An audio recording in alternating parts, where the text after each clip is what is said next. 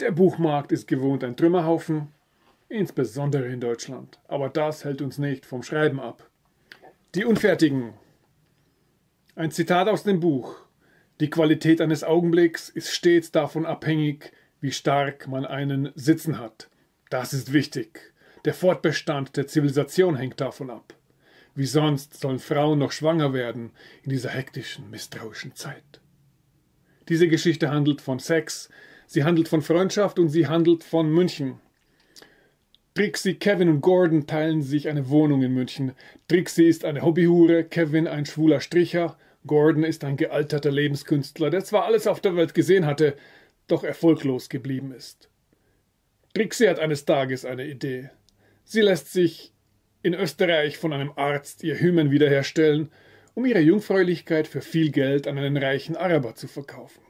Doch dafür braucht sie die Hilfe ihrer beiden Mitbewohner, und erwartungsgemäß läuft nicht alles nach Plan. Dies ist also eine freche, subversive Geschichte, die München, Schickimickis und Gentrifizierung gleichermaßen auf die Schippe nimmt, aber auch die hypersexualisierte Gesellschaft und ihre sichtlich verdummenden Dimensionen. Eine perfekte eskapistische Ablenkung in der präapokalyptischen Ära. Schmunzle noch ein einziges Mal, bevor diese Zivilisation krachend in den Abgrund stürzt. Zu finden nun einerseits in meinem obskuren E-Shop oder, wenn es sich nicht anders vermeiden lässt, auf der Zombie-Webseite, die nach einem südamerikanischen Fluss benannt ist. Und nun weiter mit unserem Programm.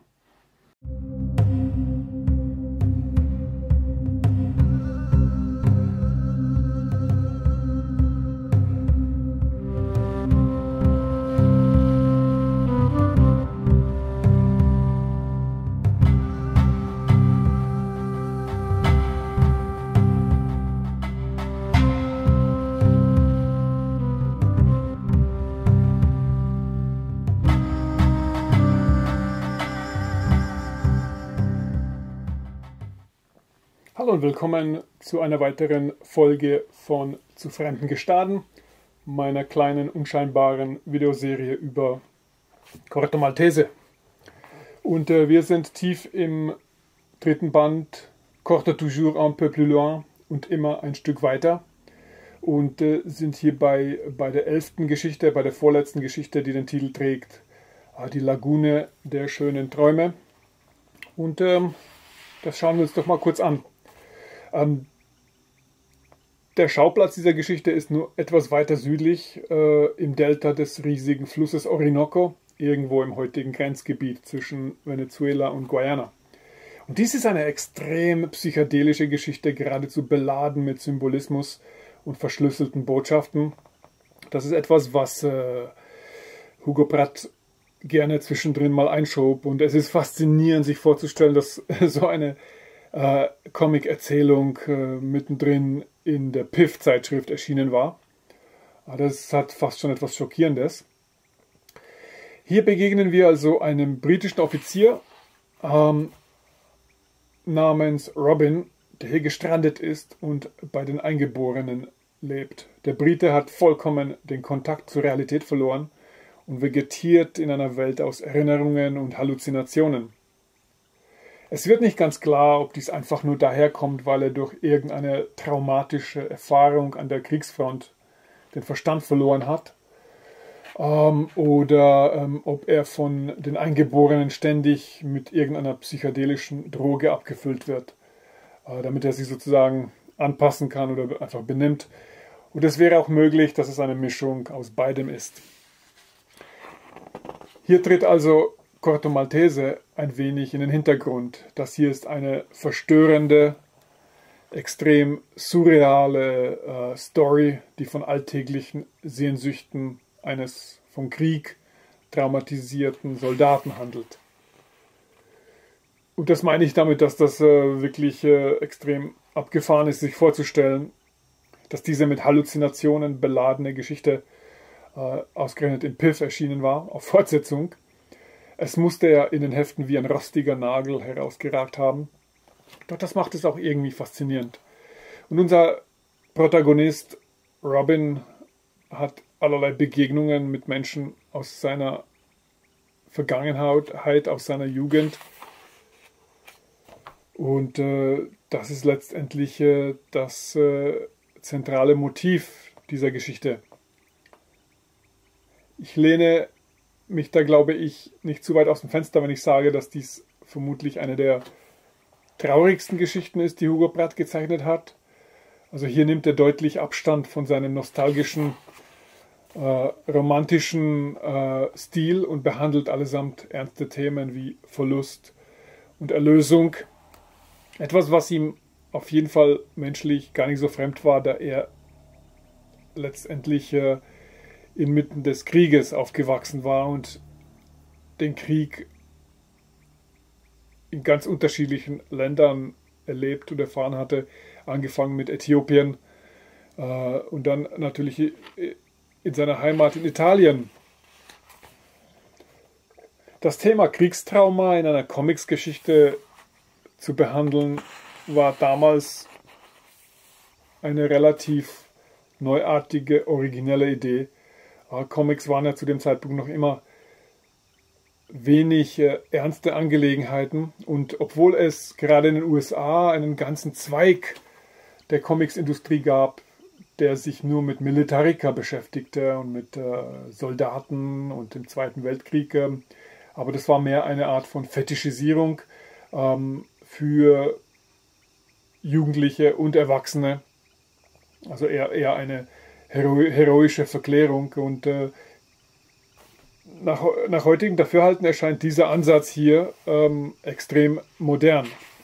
Ähm, heute findet man natürlich eine Menge Comics, die diese Art von äh, Sozialkritik besitzen und letztendlich auch äh, eine eindeutige Positionierung äh, zugunsten ähm, des Friedens äh, und gegen die Kriegstreiberei darstellen. Davon findet man heute einiges, ähm, aber damals war das noch ein sehr, sehr origineller Ansatz und äh, konnte ja auch nur von jemandem umgesetzt werden, der dafür die entsprechende Lebenserfahrung und Gravitas besaß. Äh, ist das eine Geschichte von Hugo Pratt und Corto Maltese, die ich jetzt gerne wieder mal lesen würde? Das kann ich leider nicht so bejahen. Dafür ist es doch alles sehr, sehr traurig und ähm, letztendlich äh, aber auch faszinierend. Es gibt eben diese Idee, die da drin steckt, äh, dass äh, eben diese magische Qualität dieses rätselhaften Ortes im südamerikanischen Urwald mit seinen Indios und mit seinen äh, Schamanen das Potenzial besitzt, äh, diesen seelisch zerstörten Europäer letztendlich zu erlösen. Also auf eine seltsame Art und Weise scheint da durchaus ein äh, positiver äh, Sonnenschein und ein Strahl der Sonne durch all diese Traurigkeit hindurch wenn auch äh, diese Art von Happy End nur dadurch zu erlangen ist, dass der Protagonist letztendlich stirbt. Das Ganze ist sicherlich auch eine Antithesis, ähm, Antithese zu jenem Narrativ, das zum Beispiel Peter Scholl-Latour seinerzeit immer sehr gerne im deutschen Fernsehen ähm, behandelte, indem er immer wieder erzählte, dass äh, eben seine Generation, die aus dem Zweiten Weltkrieg rauskam, ja gar nicht über sowas wie PTSD und, und Kriegstrauma nachdachte, das sei eben etwas Modernes, was scheinbar so nur dem modernen Menschen, der aus dem Irakkrieg rauskommt oder aus dem Afghanistan-Krieg äh, zustößt. Ich glaube nicht, dass äh, Peter Scholler-Tour da so gänzlich äh, recht hatte. Ich glaube eher, dass die Wahrheit ist, dass die Menschen, die aus dem Zweiten Weltkrieg oder eben hier aus dem Ersten Weltkrieg rauskamen, genauso traumatisiert waren wie in allen anderen Zeiten.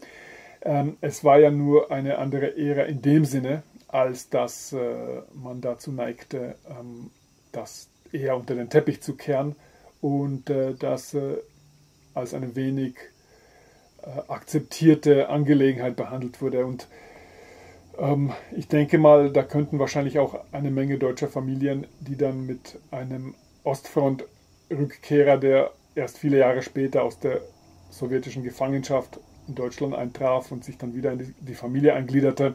Ich glaube, da könnten einige deutsche Familien ihre Geschichte darüber erzählen. Ähm, also ähm, das spricht auch wieder für Hugo Pratt, dass er für diese Themen in einer Zeit ein Gespür besaß, als das noch gar nicht äh, so in aller Deutlichkeit in der Öffentlichkeit behandelt wurde.